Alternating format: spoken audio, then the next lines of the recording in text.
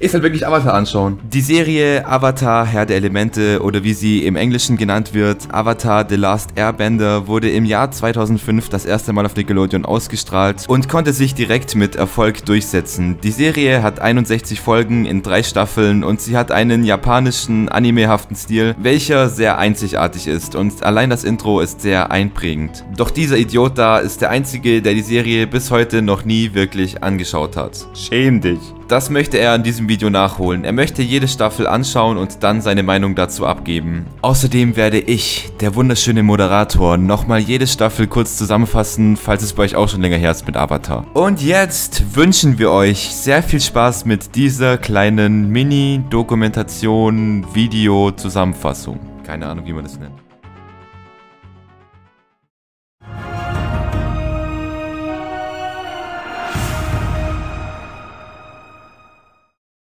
Das hier sind Katara und Sokka, zwei junge Krieger aus dem sogenannten südlichen Wasserstamm. Auf ihrer Expedition durch das Eis entdeckten sie einen komischen Jungen, welcher in einen riesigen Eisberg eingefroren war. Der Junge erwachte zum Leben und wie sie wenig später herausfanden, war er der Avatar. Aber seine Freunde nennen ihn Jeff. Außerdem kam heraus, dass der Avatar für über 100 Jahre in diesem riesigen Eisberg gefangen war und währenddessen hat die Feuernation einen Krieg über alle vier Elemente gestartet. Nun liegt es an A Aang alle vier Elemente zu lernen und sich dem Feuerlord Osei zu stellen. Das erste Ziel ist der nördliche Wasserstamm, damit Aang das Wasserbändigen meistern kann. Auf ihrer Reise zum Nordstamm entdeckten sie viele interessante Gestalten, wie zum Beispiel den Erdkönig Bumi, welcher ganze 112 Jahre alt war und Aang trotzdem noch erkannte. Außerdem stießen sie auf eine Art extremistischer Jugendlicher mit dem Anführer Jet, welcher sehr radikale Maßnahmen gegen die Feuernation erhoben hat. So ließ er ein ganzes Dorf mit Wasser überschwemmen, nur weil dort ein paar der Feuernation waren, doch Sokka konnte rechtzeitig alle in Sicherheit bringen. Außerdem gibt es noch Suko und Meister Iro, welche beide das Ziel haben, den Avatar zu fangen, damit Suko seine Ehre beim Feuerlord wiederherstellen kann, die er zuvor verloren hatte. Jedoch wirkt Meister Iro relativ ausgeglichen, was diese Mission angeht.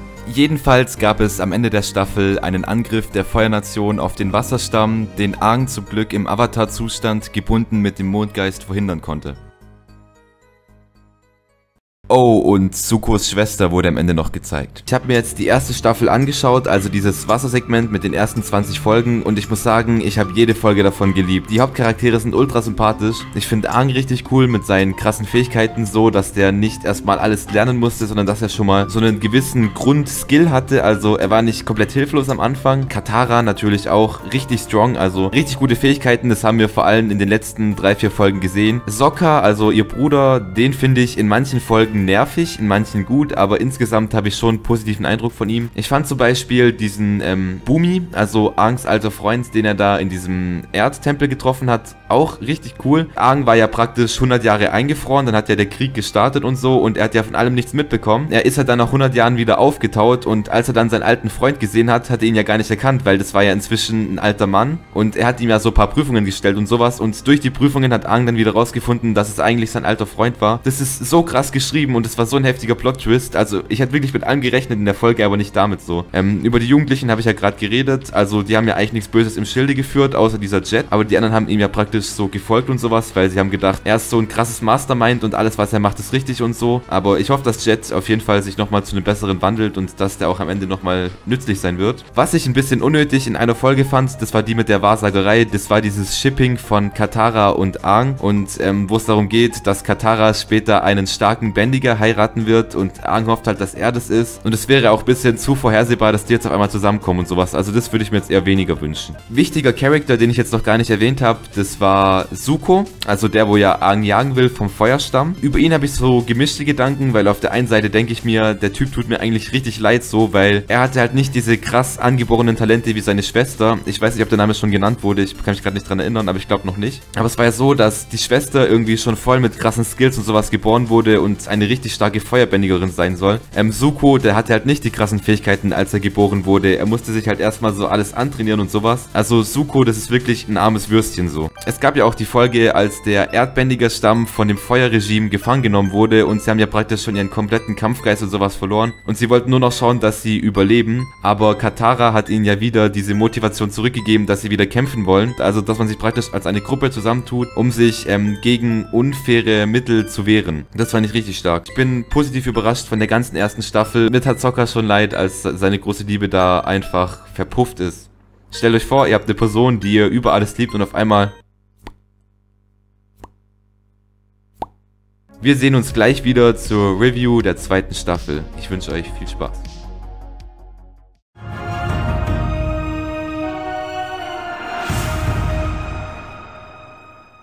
Nachdem Aang im ersten Buch einigermaßen gelernt hatte, wie er das Wasser kontrollieren kann, möchte er sich nun auf die Erde konzentrieren. Und dazu musste er zuerst einen geeigneten Lehrer finden. Während eines Untergrundkampfes entdeckte Aang einen sehr würdigen Anwärter für diese Position. Und zwar die zwölfjährige Prinzessin Toph. Sie ist zwar blind, doch kann durch ihre Füße und die Vibration des Bodens alles sehen, hat einen gelassenen Charakter und ist eine bombastische Erdbändigerin. Sie schloss sich ihrer Truppe an und die vier wollten nach Ba Se liegen, da sie dort wahrscheinlich am sichersten waren. Sie konnten einen Bohrerangriff, angeführt von Azula, der Schwester von Zuko, auf das Königreich verhindern und sie konnten sogar mit dem Erdkönig sprechen. Sie überzeugten ihn davon, die Feuernation während einer Sonnenfinsternis anzugreifen. Von der Sonnenfinsternis haben sie in einer unterirdischen Bibliothek erfahren. Der Erdkönig war einverstanden und sie haben sich darauf geeinigt, einen Putsch gegen die Feuernation während der Sonnenfinsternis zu starten. Jedoch wurde Ba Sing Se kurzerhand unter Führung von Azula besetzt und somit somit mussten Aang und seine Freunde wieder einmal fliehen. Übrigens kam auch Jet wieder vor, den wir schon aus der ersten Staffel kannten, doch dieser ist in dieser Staffel gestorben. Außerdem hat sich Suko gegen Ende der Staffel dazu entschieden, Aang zu helfen, bevor er ihn doch wieder verraten hat und auf die Seite von Azula gegangen ist. Auch seinen Onkel hat Suko mit dieser Aktion verraten. Azula hätte es beinahe geschafft, Aang mit einem Blitz endgültig zu töten, da dieser im Avatar-Zustand war und somit eine Reinkarnation ausgeschlossen ist. Doch Katara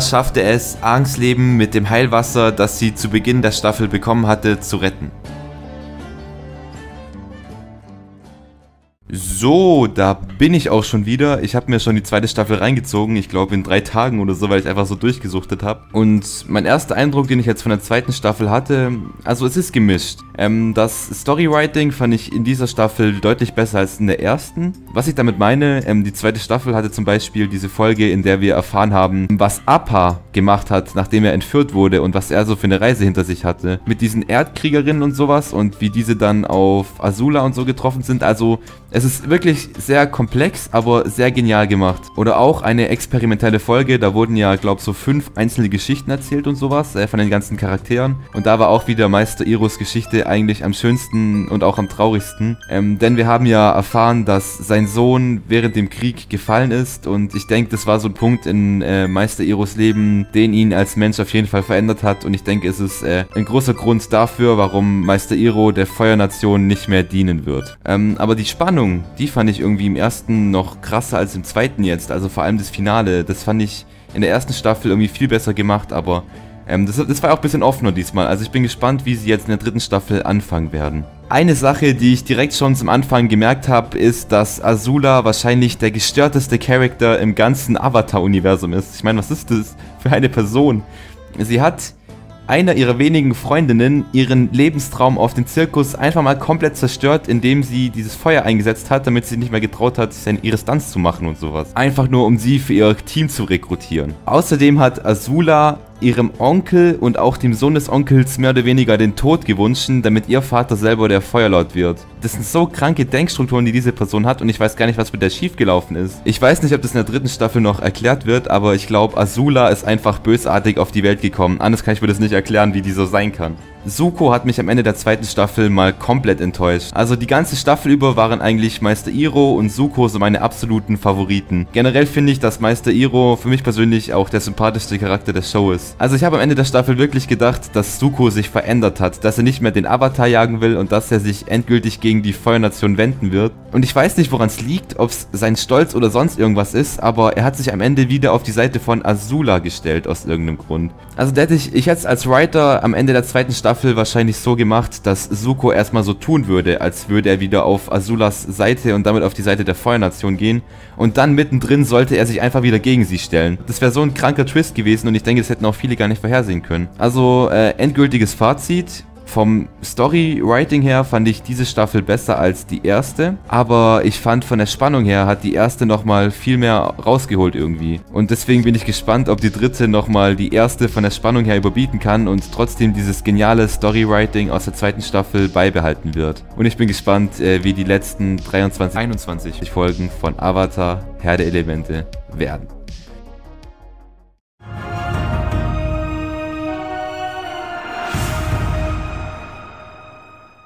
Aang erwachte nach einem wochenlangen Koma wieder zum Leben und er, Katara, Sokka und Toph mussten sich nun als Mitglieder der Feuernation tarnen, um nicht aufzufallen. Sie mussten sich nun auf die Sonnenfinsternis und auf den letzten Angriff gegen die Feuernation vorbereiten. Katara lernte das Blutbändigen, was sie zu diesem Zeitpunkt zwar schwer verstört hat, aber das sie später aus Wut eingesetzt hat. Als es dann zu dem Putsch gegen die Feuernation kam, sah es eigentlich für die ganzen Angreifenden gut aus, die sich freiwillig zur Verfügung gestellt hatten aber es gelang Aang nicht, den Feuerlord zu finden, er hatte sich versteckt. Die ganzen Angreifer wurden von der Feuernation gefangen genommen und die Protagonisten mussten sich in Sicherheit bringen. Außerdem hat Zuko sich jetzt doch dazu entschieden, sich auf die Seite von Aang und seinem Onkel zu stellen und Aang zu helfen, das Feuerbändigen zu lernen. Sie lernten von den Feuerdrachen das wahre Feuerbändigen, ohne Wut oder Gewalt. Am Tag von Zosins Komet kam es zum ultimativen Showdown von Angesicht zu Angesicht zwischen Aang und Feuerlord Lord Osei. Auch die anderen vom Team Avatar gaben alles, um die Welt endlich von der Unterdrückung der Feuernation zu befreien. Und Aang gelang es schließlich im ultimativen Avatar-Zustand, in dem er alle vier Elemente miteinander verbunden hat und wie so eine Art Super Saiyan wirkt, den Feuerlord Osei endgültig zu besiegen. Er entschied sich dazu, ihn nicht zu töten, so wie es sich für einen Luftnomaden gehört. Er nahm ihm lediglich seine Feuerbändigungskräfte. Der hundertjährige Krieg war endlich beendet. Osei wurde in einen Kerker gesperrt und Zuko wurde zum neuen Feuerlord gekrönt. Zusammen mit Aang versprach er dem Volk, dass sie den Frieden in den nächsten Jahren wieder komplett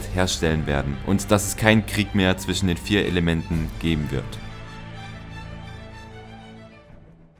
Suko wurde in der letzten Staffel nochmal richtig sympathisch und ist auch dem Team Avatar beigetreten, nachdem er Aang in den letzten zwei Staffeln bis zum Tod gejagt hat und sowas. Und ich bin froh, dass er sich doch für die richtige Seite entschieden hat. Und dann ging es eben in Richtung Finale. Zuerst mal mit diesem ersten Ansturm auf die Feuernation, der nicht so erfolgreich war und der, wie ich finde, auch ein bisschen zu schnell kam. Aber es war irgendwie ziemlich äh, schwammig durchplant von den ganzen Leuten und davon auszugehen, dass Aang zu 100% auf den Feuerlord treffen wird, das war auch so ein bisschen bisschen blauäugig von den Leuten. Und dann hat ja jeder bis auf Toph ein kleines Abenteuer mit Zuko erlebt. Also Sokka hat seinen Dad befreit, Katara hat den Mörder ihrer Mutter gefunden und hat ihn verschont, denn die Message sollte ja sein, dass Blutrache immer dämlich ist, egal was die andere Person getan hat, denn Feuer mit Feuer zu bekämpfen ähm, das macht dich nicht zu einem besseren Menschen oder sowas. Dann gab es noch das Abenteuer mit Aang und Suko, als sie diese Feuerdrachen gefunden haben und die Folge habe ich mal richtig cool gefunden. Generell finde ich äh, das Duo Aang und Suko super satisfying. Äh, sie harmonieren super gut zusammen.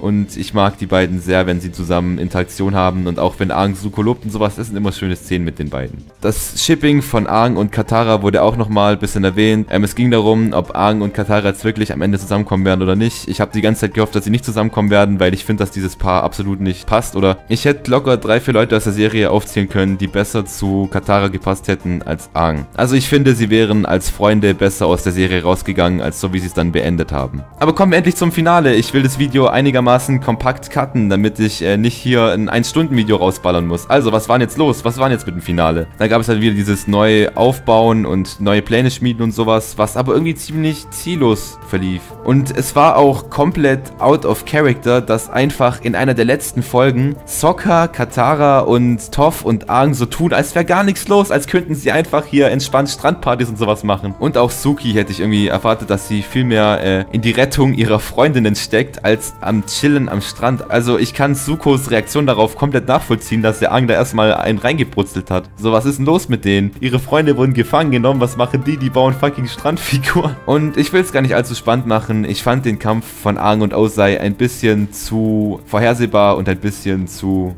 fast schon langweilig. Es war irgendwie zu unspektakulär, wie er dann die vier Elemente vereint und einfach die ganze Zeit auf ihn eindrescht und sowas, ohne Gegenwehr und so. Ähm, und es war generell ein bisschen lame für ein Finale einer so doch epischen Serie. Und ich hatte doch ein bisschen mehr nochmal Gefahr erwartet von Oseis Richtung und sowas.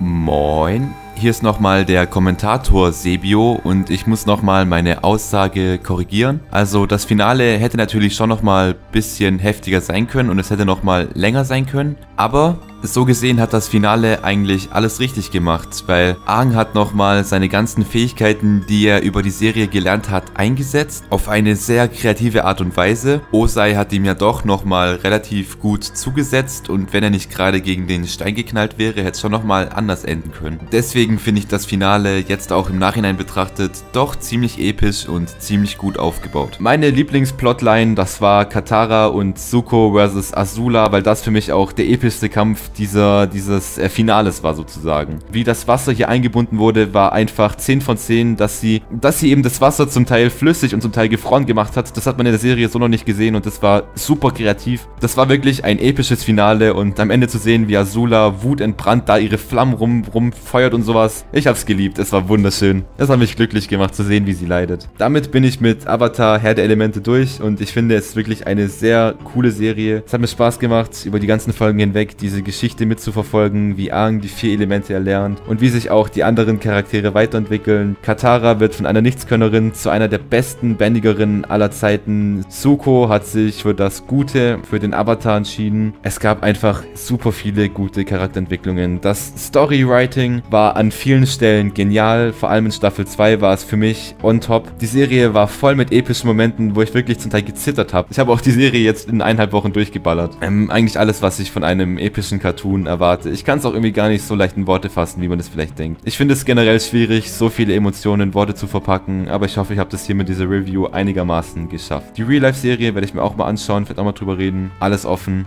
aber ich denke, ich habe euch jetzt genug zugetextet. Danke, dass ihr euch dieses Video bis hierhin gegeben habt. Ich entlasse euch jetzt. Ähm, ich wünsche euch noch einen wunderschönen Tag und bis zum nächsten Mal. Ciao.